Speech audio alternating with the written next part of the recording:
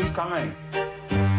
Same old tired fairies you've seen around since day one. This is gonna be fun. It's ugly, and the, none of those words were ever uttered by me without a severe amount of trepidation and a sick feeling in your stomach going into it. Actually, you know what? There'll be seven, counting Harold and you and me. Are you calling me a screaming queen or a tired fairy? I was very shocked uh, uh, in rehearsals when we first started using the language. And there are certain slurs that hit me every performance, particularly uh, interactions between Michael and Bernard.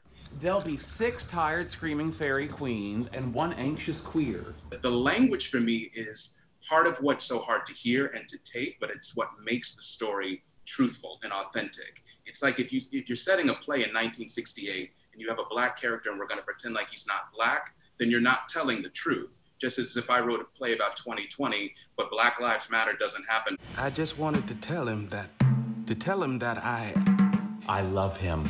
My intention is not to cause anyone pain by, by using words that are to brutalize someone.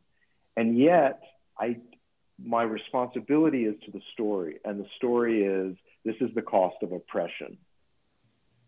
It allows you to, to act in a way that is inhumane. Mary, take me home. These queens are crazy.